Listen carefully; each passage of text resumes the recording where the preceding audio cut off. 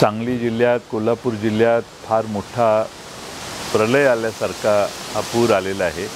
आणि या पुरात बारा बलुतेदार छोटे मोठे कारागीर छोटे छोटे व्यापारी लहान उपजीविकेच्या टपऱ्यातनं आपलं जीवन गुजराण करणारे आणि टपऱ्यातनं व्यवसाय करणारे अनेक लोक तरुण मुलं यांचं सगळं व्यवसाय उद्ध्वस्त झालेले आहेत.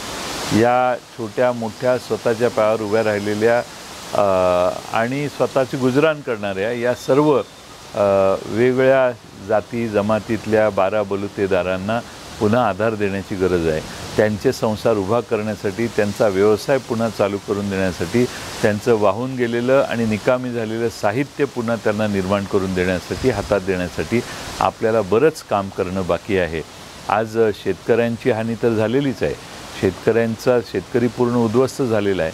पण हे छोटे मोठे व्यवसाय करून गुजराण करणारी जी लोकसंख्या प्रत्येक गावात आहे त्यांच्याही नशिबी हा पूर आलेला आहे ज्याचं अतोनात नुकसान यांचं झालेलं आहे. या सर्वांना उभा करण्यासाठी आज आपल्या सर्वांनी ताकद एकत्रित करून यांना आधार देण्याची गरज आहे. महापुराचा दुष्परिणाम ज्यावेळी मा महापूर ओसरतो त्यावेळी अधिक गडदपणाने पुढे यायला लागतात आणि त्यात सगळ्यांनीच मदत करण्याची आवश्यकता आहे.